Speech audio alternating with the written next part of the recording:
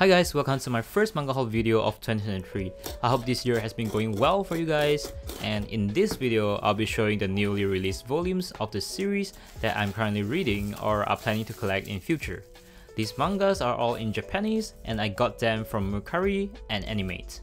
So without further ado, let's go straight into the unboxing. Firstly, we have Blue Box. This is a manga about sports and romance from Shonen Jump. This is the 8th volume and I like this manga. The story is wholesome, cute, and sometimes funny. Although this is shonen manga, there is a huge female audience as well, so if you have not heard of it, please check it out if you like the romance genre. We get a coaster as a bonus for buying this volume, and it looks amazing. If you know me well, I will never use this coaster. It's too beautiful and I want to keep it permanently in my collection. Let's take a look at the main cover. I have always been a fan of their cover design, it's clean and gorgeous. Look at Chinatsu senpai in the maid costume, this is how you boost the sales of the manga, you know.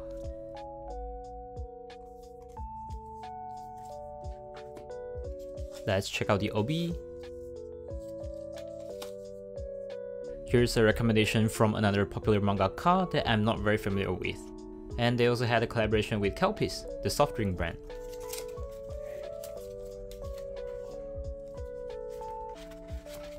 The inner cover has the same design but in black and white. I also got this blue box photo set from another seller. Just a fun fact, in Japan they call it bromide.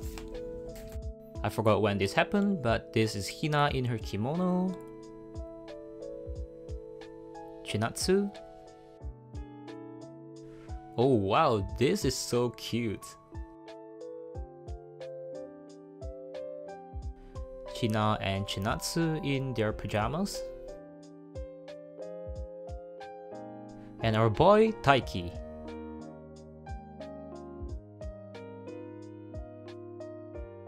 Next up, we have Witch Watch. This is also the 8th volume. It is a comedy series that is pretty popular right now.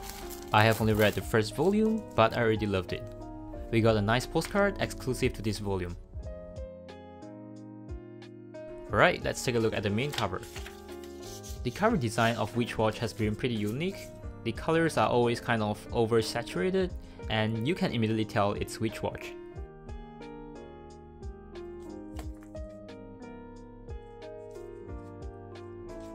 Their inner cover is quite interesting as they will use drawings from the manga. Wow, is this Wolverine or something?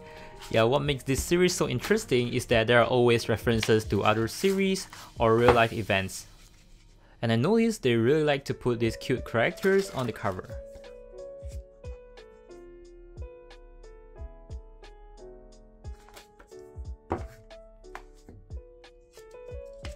His previous work was Sket Dance and I think it was really great as well. I also like how much effort they put into designing this Obi, so please pick up this series if you like. Next up, we have Goddess Cafe Terrace. This is also the 8th volume. As a slice of life rom-com series, I think it has a pretty slow start. However, from the reviews I've read, the recent volumes seem very interesting, so I'm quite excited to read them. They will be getting an anime adaptation in April as well, so you might want to check it out before the anime. Oh yeah, my favorite is this twin tail by the way. The art style is also very gorgeous and I love to keep them in a clear folder.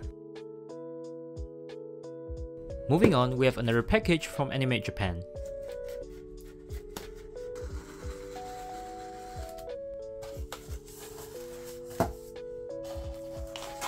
This is my first time buying from them and honestly, I'm super satisfied with the service.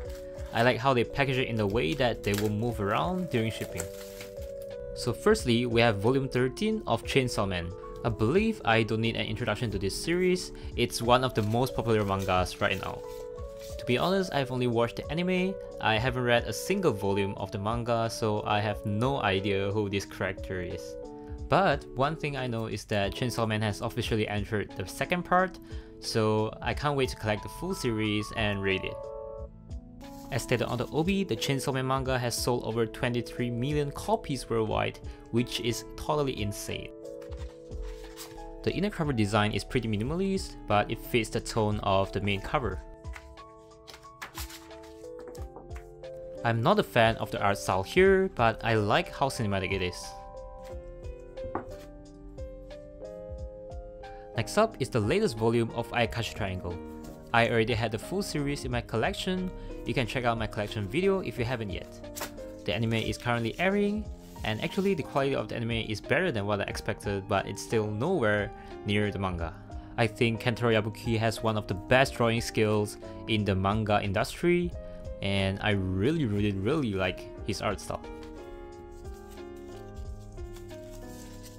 We can see the anime promotion on the Obi here.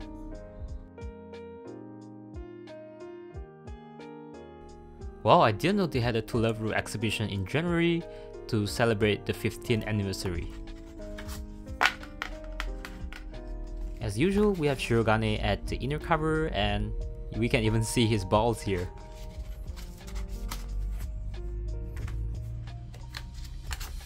Well, aside from the amazing fan service, I find the series really funny sometimes.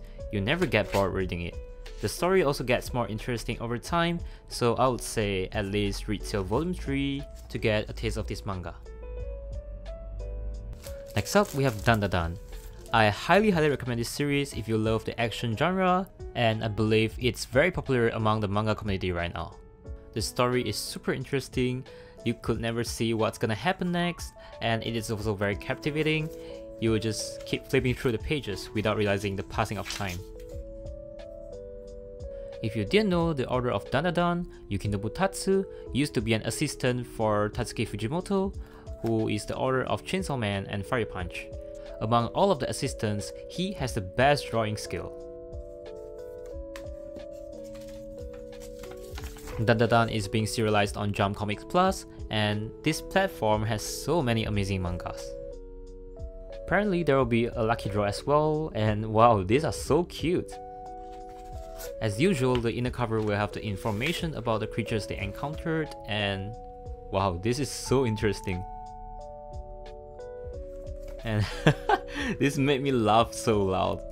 I don't know what the hell they're thinking, but I can't wait to read this. Here's a full view of the cover, and I like how there are so many running scenes in the manga. I like that they have a few color pages, which is not very common.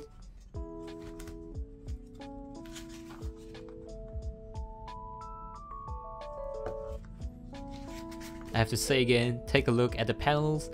His drawing is amazing and I really really like it. So this is Dandadan, please check it out, I highly recommend it. This is the last manga of this video and it's Oshi no Ko, which roughly translates to the idol I support or the children I support. The story is written by the author of Kaguya-sama and the manga is drawn by the author of Scum's Wish. I haven't read a single chapter yet, but I heard it's a dark story about the idol industry. I can't tell how many people have recommended me this series, so I thought I wanted to check it out, and I will be collecting the full series soon. If you didn't know, this series will be receiving an anime adaptation in April, and the first episode is going to be 90 minutes long. It is going to be a super impressive episode, I feel, and I can't wait to read the manga before the anime airs. Wow, the design on the inner cover is very interesting as well.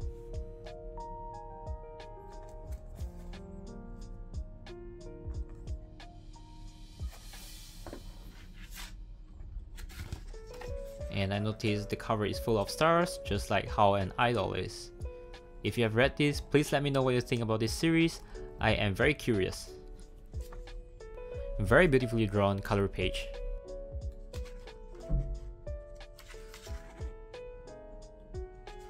The art style also looks amazing, and I don't want to spoil it for myself. This manga is also slightly bigger than the usual tankobon. Now here are some of the bonus items from Animate. This is the postcard from Chainsaw Man, and some of the cards from the Jump series. So here's Oshi no Ko, Kubo-san, I really like the anime, it's so sweet, it's so wholesome. I have no idea what this is. You can let me know in the comments below if you recognize this series. Oh, also, I don't know this. Oh, there's one more at the back. This is PPPPPP. Seems like a very popular music manga. In this haul, I also bought the My Girl magazine. It's about voice actors. And here we have the voice actress of Spy Classroom. These are some of my favorite voice actors, and the photos look stunning. The anime so far has been pretty average, but I recommend you to read the light novel if you are interested in the story. It's super captivating. So that's it for this video. If you have any manga recommendations, feel free to drop it down in the comments below. I'll make sure to check each and every single one of them. I hope that you have enjoyed this video. If you haven't yet, please make sure that you are subscribed to my channel. I'll be really happy for that. And feel free to drop a like as well. I'll see you in my next video. Bye!